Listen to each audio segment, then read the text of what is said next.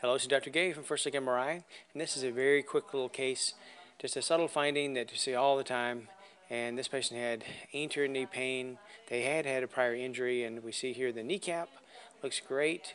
There's a little bit of chondral thinning of the patella, but I'm looking at Hoffa's fat pad here. So we have a nice normal appearance of the midline Hoffa's fat pad. When we roll medial, you can see the superior contour nice and smooth, nice and uniform dark signal all the way through that fat suppressed Hoffa's fat pad. Now we go lateral, and it looks pretty good here.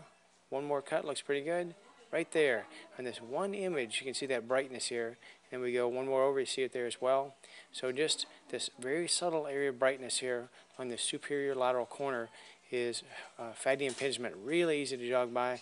I remember years ago I jogged by it and one of the orthopedic uh, surgeons, uh, I guess his wife, and he pointed it out. I'm like, oh, geez, yes. And so I have not missed it since, I don't think. Um, so look for that. It's a little bit harder to see in the axials.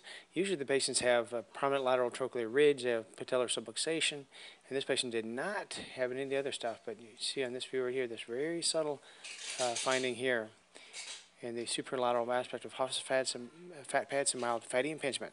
Thank you very much.